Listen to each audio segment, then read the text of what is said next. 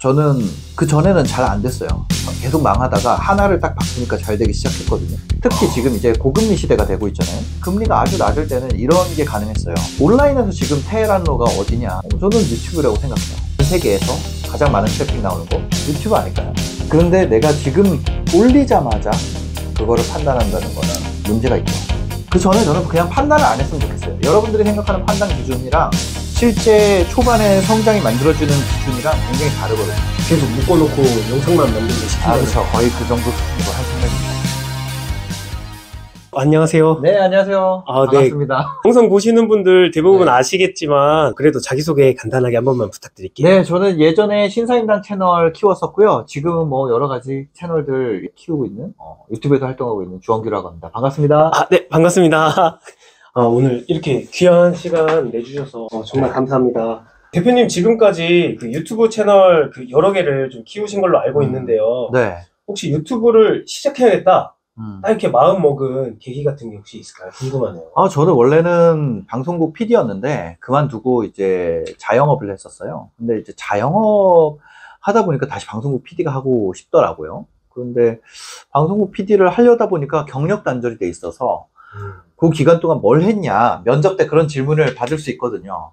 그래서 그 기간 동안 아 저는 뉴미디어 PD를 해보려고 그만뒀습니다. 이런 얘기를 좀 하고 싶어가지고 유튜브를 하게 됐습니다. 굉장히 많이 했었죠. 게임 채널도 하고 뭐 육아도 해보고 어, 인테리어 쪽도 해보고 뭐 정말 많이 했던 것 같아요. 눈에 띌 만한 성과를 냈던 채널이 있나요? 처음으로 잘 됐던 게 신사임당 채널이죠. 유명해지고 자신의 재화나 서비스를 좀 더 효율적인 방법으로 팔기 위해서 유튜브를 시작하라 이렇게 가르침을 주시고 계시죠? 네네. 네. 맞아요. 아, 저는 그래요. 이게 뭐 유튜브를 꼭 해야 되는 그런 거는 없다고 봐요. 그분의 선택이죠. 그분의 선택인데, 저한테 이런 질문 많이 해요. 지금 한다면, 뭐 돈이 없고 이렇다면 뭐 어떻게 해야 됩니까? 이런 질문 굉장히 많이 하는데, 제가 그때마다 항상 얘기하는 게 이제 유튜브에 대한 얘기를 해요. 왜냐면 우리가, 어, 건물을 하나 가질 기회가 있다면, 당연히, 어, 산골에 있는 건물이랑 강남에 있는 건물, 둘 중에 하나를 갖는다면, 어떤 건물을 갖는 게 좋을까요? 당연히 강남에 있는 건물이 더 좋을 거예요. 뭐 태백에 있는 건물과 테헤란로에 있는 건물이라고 했을 때 똑같은 규모의 건물이라면 테헤란로에 있는 건물이 더 좋을 거예요. 우리가 어떤 컨텐츠를 올려, 올리거나 뭔가 내 목소리를 알릴 때 남들이 하지 않는 작은 플랫폼에 할 수 있어요. 그죠? 그 블루오션이니까. 반대편에는 뭐가 있냐면 이미 모여진 유튜브가 있어요. 저라면 이미 모인 데다 하는 게 낫다는 거죠. 특히 지금 이제 고금리 시대가 되고 있잖아요. 그러니까 과거에는 금리가 아주 낮을 때는 이런 게 가능했어요. 돈이랑 트래픽이랑 바꿔가지고 새로운 트래픽 많은 플랫폼을 만들어서 그걸로 광고 수익을 만드는 그런 단계까지 가는 게 가능했어요. 근데 지금 같은 경우에는 금리가 너무 높다 보니까 수익을 내 가지고 자가 발전할 수 있는 상태가 아니면 그런 플랫폼 비즈니스를 한다는 게 쉽지 않은 상태가 됐단 말이에요. 그러다 보니까 과거에 이미 모여 있는 트래픽, 이미 그런 것이 가능하던 시기에 모아놓은 트래픽의 가치가 더 높은 시대가 됐다고 생각을 해요. 그리고 지금 시점에 가장 많은 트래픽이 몰리는 곳이 유튜브고 온라인에서 지금 테헤란로가 어디냐? 어, 저는 유튜브라고 생각해요. 전 세계에서 가장 많은 트래픽 나오는 곳 유튜브 아닐까요? 내가 어떤 컨텐츠를 만들거나 하는데 시간을 쏟을 수 있는데 그거를 국내 한정인 어떤 플랫폼에서 하는 것보다는 글로벌 플랫폼에서 하는 게 더 낫지 않나 이런 생각을 갖고 있습니다. 어, 유튜브 채널을 네. 키울 때 네. 어, 이것만큼은 좀 주의해야 된다 하는 게 있을까요? 음, 영상 하나 올려놓고 결과가 나오니 안 나오니 하는 거. 절대 하면 안 돼요. 유튜브는요, 추천 기반의 알고리즘을 갖고 있습니다. 그리고 그게 퍼지기 위해서는 시간이 필요해요.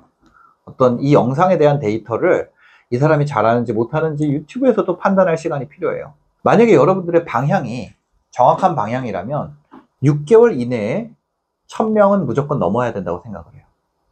6개월 이상 했는데도 1000명을 못 넘었다? 그게 안 된다면 어쩌면 어, 컨텐츠 만드는 쪽은 소질에 안 맞을 수도 있다고 생각을 해요. 그런데 내가 지금 올리자마자 그거를 판단한다는 거는 조금 문제가 있죠. 네, 그래서 최소 주에 한 편씩 6개월 정도는 만들어 보자. 그럼 한 30편 정도거든요. 30편도 안 만들어 보고 그 전에 저는 그냥 판단을 안 했으면 좋겠어요. 여러분들이 생각하는 판단 기준이랑 실제 초반에 성장이 만들어주는 기준이랑 굉장히 다르거든요. 왜냐면 눈높이는 이미 유튜브 들어가면 다 그 진용진님 나오고 뭐 쯔양님 나오고 메인 스트리머들이 메인 크리에이터들이 다 차지하고 있어요. 눈높이는 거기가 있는데 내 영상을 올리면은 뭐 10회, 20회 나온단 말이에요. 뭐 100회 나올 수도 있고. 그리고 그, 그게 충분히 잘하고 있음에도 아무 이상이 없는데도 그거에 대해서 나는 소질이 없어 뭐 이런 소리 하는 분들도 있어요. 그런 행동은 절대로 하면 안 된다고 생각을 하고 6개월에 주에 한 편씩 20편에서 30편 정도를 만들어 보고 예, 그랬는데 수익 창출이 안 됐다. 그럼 그때 미련 없이 접어도 된다. 이렇게 얘기 드리고 싶습니다. 주원규 대표님도 같은 방법으로 여러 개의 유튜브 채널을 키워보고 그 중에 신사임당이라는 채널을 쭉 밀고 오신 거네요. 네, 유튜브는 아무래도 운적인 요소가 있어요. 그래서 100만, 200만 가는 채널, 그러니까 10만 이상으로 키우는 것 같은 경우에는 잘 될 수도 있고 안 될 수도 있어요. 근데 수익 창출이라는 건 유튜브에서 걸어놓은 이유가 있습니다. 1000명에 4000시간은요, 누구나 할 수 있기 때문에 걸어놓은 거예요. 만약 유튜브를 제대로 하고 있다면 누구나 넘어설 수 있기 때문에 그걸 걸어놓은 거죠. 어느 정도 기본 퀄리티가 되는 곳이라면 그건 무조건 달성할 수밖에 없다고 생각을 하거든요. 제가 히트할 수 있었던 이유는 저는 그 전에는 잘 안 됐어요. 계속 망하다가 하나를 딱 바꾸니까 잘 되기 시작했거든요. 그 전에는 그냥 제가 하고 싶은 걸 했어요. 예, 근데 어떤 순간부터 남들이 원하는 거를 하기 시작했어요. 그러면서 성장 속도가 완전히 바뀌게 됐습니다. 여러분들도 유튜브에서 지금 사람들이 좋아하는 게 뭔지를 잘 찾아낼 수 있으면 특히나 그게 어, 대형 인플루언서가 만드는 게 아니라 아주 나랑 비슷한 정도의 수준의 사람이 만들었는데 사람들이 사랑하는 게 뭔지 안다면 여러분들이 그걸 하는 순간 여러분들도 그런 인플루언서가 될 거라고 생각해요. 아, 그리고 지금 새로 시작한 사업은 네. 잘 되고 계신가요? 네, 어, 잘 되고 있습니다. 다행히도 지금 생각했던 것보다는 네, 순항하는 것 같아요. 제가 새로 하고 있는 사업은 유튜브 하는 분들이 사용할 수 있는 툴을 온라인으로 구독 형태로 판매하고 있는 사업이 하나가 있고 오프라인 학원 이런 쪽도 좀 준비를 하고 있고요. 이거 같은 경우는 저희가 장기 프로젝트로 제가 원래 신사임당 채널에서 유명해지게 됐던 계기가 그 창업 다마고치라는 걸 했어요. 친구 한 명을 데리고 제가 스마트 스토어를 알려주는 걸 했었는데 그런 것처럼 이제 유튜브를 옆에서 알려주는 그러니까 온라인으로 보고 따라하는 분들의 성과랑 유튜브 라이브 방송에서 하는 분들의 성과랑 실제 저희 회사의 직원으로 들어와서 하는 성과랑 차이가 있더라고요.